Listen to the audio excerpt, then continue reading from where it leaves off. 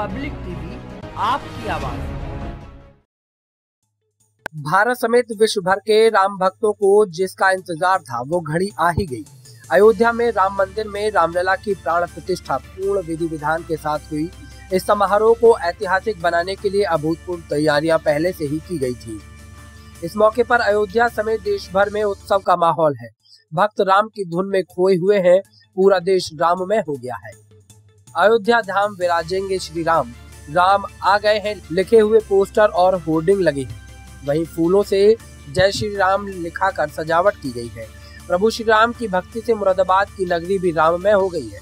पूरे शहर में राम की भक्ति का उल्लास और रामलीला के प्रति अटूट प्रेम साफ़ झलक रहा है। महानगर की गली मोहल्लों को भी राम की नगरी की तरह सजाया गया है। मंदिरों में जगह जगह भंडारे और महाआरती का आयोजन किया गया। इस अवसर पर हर तरफ़ सुंदर कार्यक्रमों का आयोजन किया गया। कहीं पर सुंदरकांड पाठ हुए तो कहीं महाआरती की गई तो कहीं पर दीपोत्सव करके श्री राम की प्राण प्रतिष्ठा का उत्सव मनाया गया। जय श्री राम जय श्री राम आज का प्रोग्राम भगवान राम अपने घर में पधार चुके हैं। इसलिए ये पूरा देश भगवा में हो चुका है। और ये सब लोगों को बहुत खुशी है। उसी उपलक्ष्य में ये भंडारे का आयोजन किया गया। लगभग एक हज़ार आदमी अब तक खाना खा चुके हैं और अभी शाम तक ये भंडारा छः बजे तक चलेगा। क्या संदेश देंगे सबको?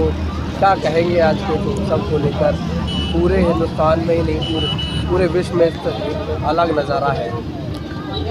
क्या संदेश देना ये तो आपको सब जानकारी है। हाँ, हम क्या संदेश देंगे? क्या लगता है कि एक वर्षों बाद ये दिन हम लोगों को मिलने मिला है? ये 500 वर्षों के बाद ये दिन देखने को मिला। बहुत खुशी का दिन है और सड़क में सड़कों पर पूरा भगवा में लोग नारे लगाते हुए गुजर रहे हैं।